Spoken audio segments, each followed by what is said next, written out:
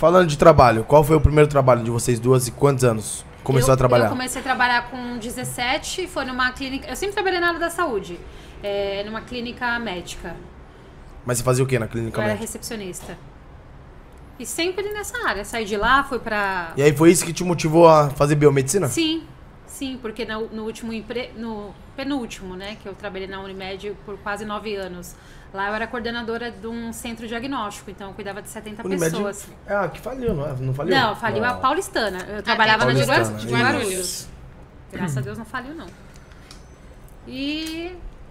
É, eu gosto da área de saúde, então. Me identifico bastante.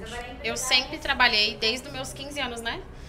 Desde os meus 15 anos trabalhei em shopping, mas eu fiquei sete anos sendo frentista. Não tenho problema nenhum de falar frentista, sete anos.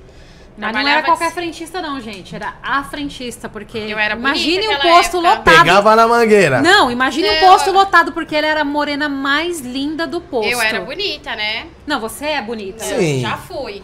Mas eu gostava do que eu fazia. Eu trabalhava de segunda a segunda. Não tinha Porque folga, quando a Júlia não? nasceu, eu pegava os domingos. Eu tinha, eu ganhava os domingos. Porque quando a Júlia nasceu, meu pai, eu não tive, graças a Deus, não tive o apoio do pai dela. Graças a Deus. Meu pai que me ajudou. E graças ao meu bom Deus, colocou uma pessoa maravilhosa no meu caminho, que foi meu esposo. E aí eu tive que trabalhar. Meu pai me deu opção. Ou você me dá ela pra ser sua irmã, ou você vai trabalhar. Eu preferi trabalhar. Então eu trabalhava bastante pra poder pagar convênio, dar as coisas pra ela. E eu não tenho problema nenhum de falar que era frentista. Trabalhava mesmo, E suado. gostava, pra ter ficado sete Gostava- anos? Gostava. E eu trabalhava assim, bastante. Isso mesmo em Guarulhos? Em Guarulhos, no BR. Também trabalhei no Shell, mas eu trabalhava bastante. Que não é fácil não ser frentista. Você acha que é só... Não é. Não é.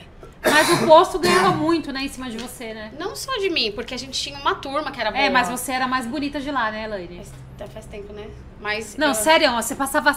Andava com a, Ana, com a Lani na rua, não dava, meu. Os caras ficavam mexendo, batia carro. Exatamente. A Júlia ficava brava, a Júlia ficava xingando. Porque ela tinha um corpaço. Tipo, sabe Sheila Carvalho? Ela era tipo Sheila Carvalho. Não, eu O era cabelão bonita. dela era igual o da Ana, Era. assim, pretão até a cintura. Meu, todo mundo parava assim. Eu era bonita. E mas não era por causa disso, mas é porque eu gostava mesmo de trabalhar lá, sabe? Não, a sua parte do trabalho a gente sabe que você É. trabalhava mesmo, mas tô falando do- do- dos clientes. Ah, Os clientes iam lá porque você era gatona, né? É, chama atenção, né, Baba? é, o, o dono do posto era esperto. Aquele meu amigo que gosta das. Lembra da pipoquinha aqui? Que Ô, falando em seu amigo, Barba, de verdade, é a última vez que eu vou te falar, viu, mano? Cadê a cachaça?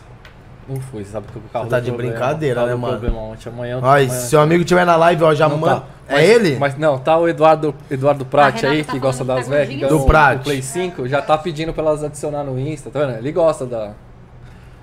Da zoeira, É. né? Aí depois, depois você passa o Instagram aí, ó. Vai estar aí na descrição, né? É, exato. Aí, já Eduardo. Segue elas já lá. segue elas gente, aí, a ó. gente Eduardo tá Prat. da briga, calma. Nossa, o pessoal tá querendo saber. Ah, vocês gostam de uma briga, hein? Caramba. Não, mas tem que falar, né? Isso foi o, top, foi o auge da nossa vida. Nossa. E, e não tem nenhum fã-clube de vocês duas? Tem, Tem. Tem? tem. Amo tia Tati, tia Tati. Ó, Cris. elas estão estouradas, hein, novinhas? Então